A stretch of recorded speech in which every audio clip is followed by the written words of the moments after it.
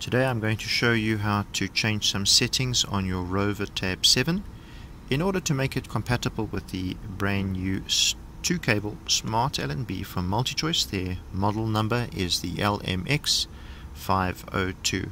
Now what's important to note about this LNB is that it does not support legacy. It will only work with uni-cable decoders. So that's a problem. And how do you align the satellite? How do you align the actual dish if you have a meter that's set up to work in legacy mode? Now you can change your meter to work in SATCR mode and align the dish. That works perfectly. But let me show you how to change a couple of settings on your meter in order to read and analyze the signal coming from the LNB itself. So first things first is put your meter into satellite mode. Now if you have a look at my screen, you can see we are on 11594 megahertz, vertical low, symbol rate is 27500 megasymbols. And the meter just gives us a 55.5 dB microvolt reading. It Doesn't really tell us any information because the dish is already aligned, but none of that info is being pulled through to the meter for us to analyze and adjust the skew.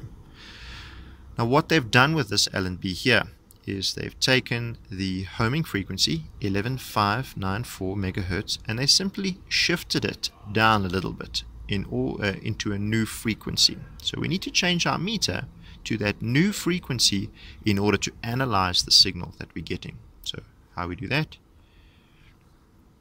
We type the new frequency in. Now the new frequency for 11594 vertical low is 11062 megahertz.